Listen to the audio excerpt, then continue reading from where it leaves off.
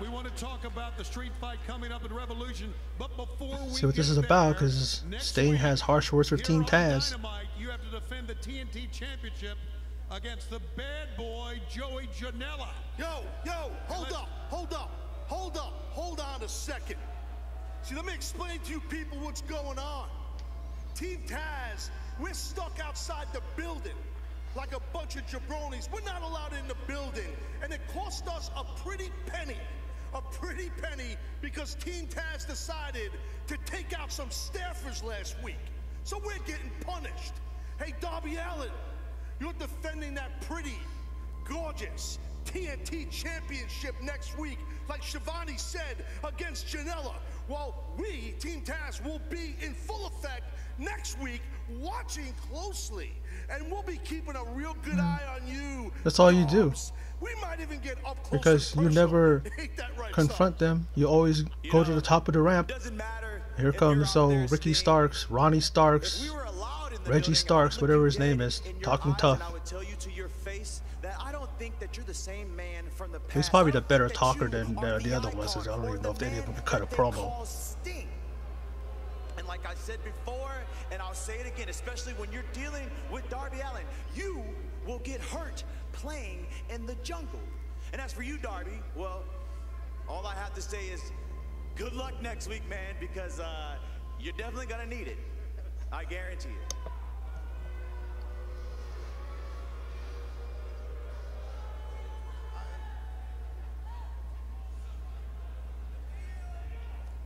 On, hit him, Sting. Hit him with it, Sting. Okay, Team Taz. You say that you're going to be here next week for Darby's title match, and I got to let you know I'm going to be here as well, and I'm going to make it. Make sure that it's just a one-on-one match, and that's it. It's not going to be Darby against his opponent and everyone else in the world underneath Taz. That ain't happening. Not on my watch. That's first and foremost.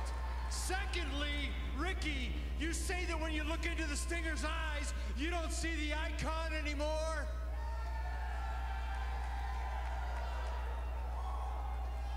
Maybe you need to take a closer look.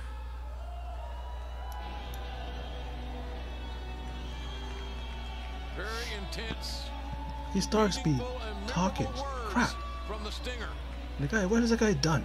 What has he done in this in this in this uh, company?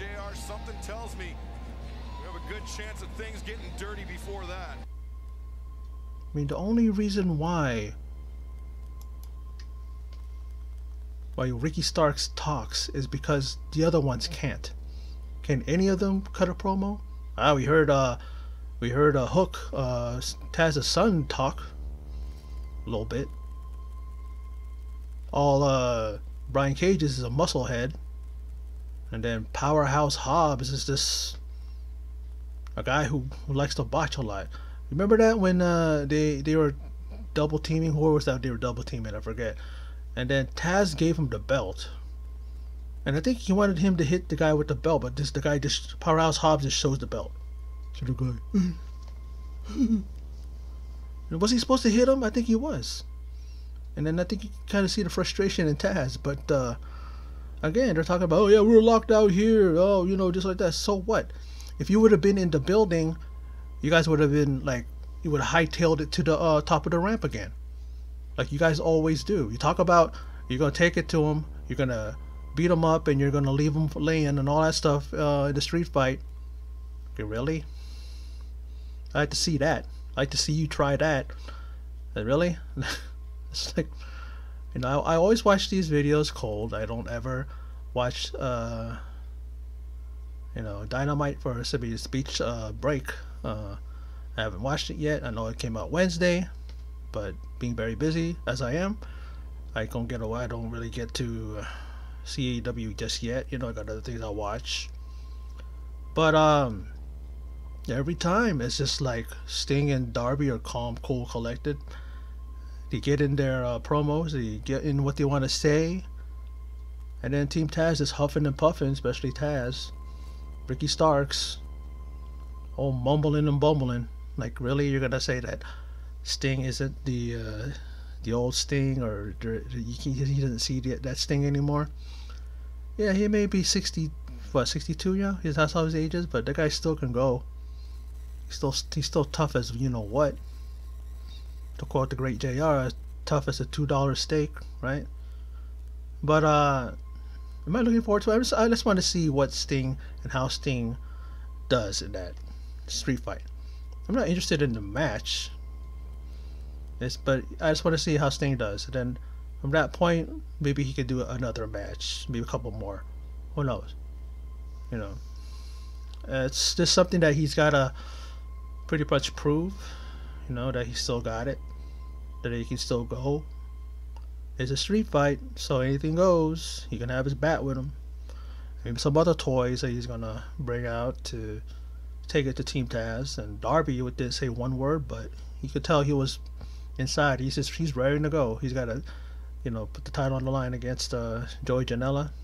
Okay, we'll see what how that goes. But uh, that's my reaction to uh, Sting having some harsh words for Team Taz. Team Taz doing the usual thing, huffing and puffing. But as soon as uh, they get within uh, a good distance between them and the, uh, their uh, targeted opponent, they just hightail it and go to the back like they usually do. Come on, show me your toughness. Show me that you're tough at the street fight. Or what are you gonna do? You're gonna run to the back again? You're gonna run away from them? You know, it's them against uh, Sting and Darby against uh, Starks and uh, Cage. We'll see.